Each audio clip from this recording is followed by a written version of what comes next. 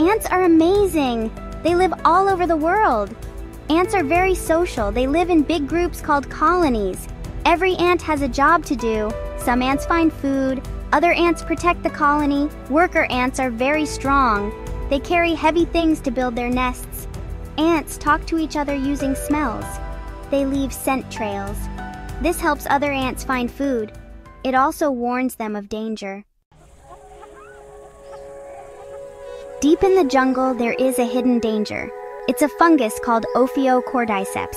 This fungus infects ants. The fungus starts as a tiny spore. It floats through the air. When it lands on an ant, it burrows inside. The ant doesn't even know it's infected. Inside the ant, the fungus starts to grow. It takes over the ant's body.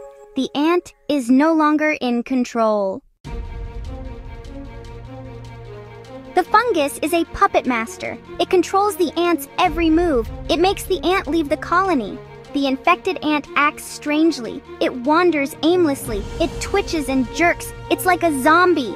The fungus forces the ant to climb. It makes the ant climb high up on a plant. This is all part of the fungus's plan. Section 4 A Gruesome End. The ant reaches the top of the plant. It bites down hard on a leaf. It clamps its jaws shut. It will never let go. The ant is dead. But the fungus is very much alive.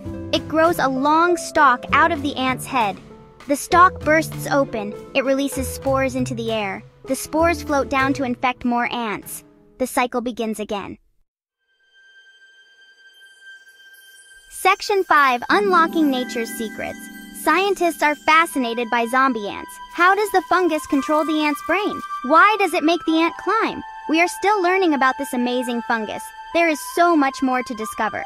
The jungle holds many secrets. It's up to us to unlock them. What do you think about these zombie ants? Let me know in the comments below. And don't forget to like this video and subscribe for more mind-blowing bug facts.